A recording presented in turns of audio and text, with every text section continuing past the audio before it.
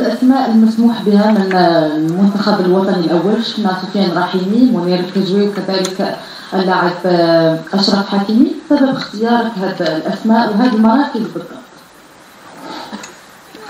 بالنسبة بالنسبة لأشرف حكيمي كنظن بان اختيار لدينا أشرف ولدينا اللاعبين الآخرين. كان كان اختيار اللي فكرنا فيه مرة وجوج ثلاثة واربعه وخمسه لأن كنعرفوا 23 سنة يعني ثلاث لاعبين دابا يبقى 15 لاعب باش تكمل 18 لاعب إذا déjà داك 15 أمور صعيبة فما بالك داك ثلاثة كضاف ليها كيف ما سبق ليا وذكرت يعني عندنا les clubs هما اللي كي كيديسيديو هما اللي كيقرروا فأولا بالنسبة لي أنا شيء أكيد ومؤكد حارس مرمى خصو يكون أنا بالنسبة لي حارس مرمى كيمثل واحد واحد النسبة مهمة في المنظومة ديال واحد الفريق. اذا كان علينا أننا نأخذ حارس مرمى اللي مجرب اللي كومبيتيتيف واللي يمكن له يساعدنا.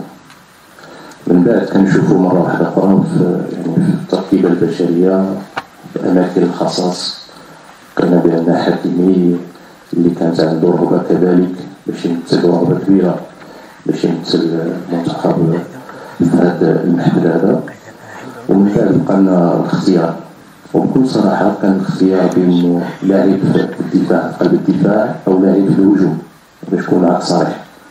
كنت كنفكر حتى لآخر لحظة واش نأخذ لاعب في قلب الدفاع أو نأخذ لاعب في الهجوم؟ ولكن مرة واحدة فاش كتجي آخر أخر لحظة وكاين حتى واحد شي مشكل نعطيك لو نو مثلا البكراوي البارح كيقول لك ما الكلوب ديالو ما خلاش.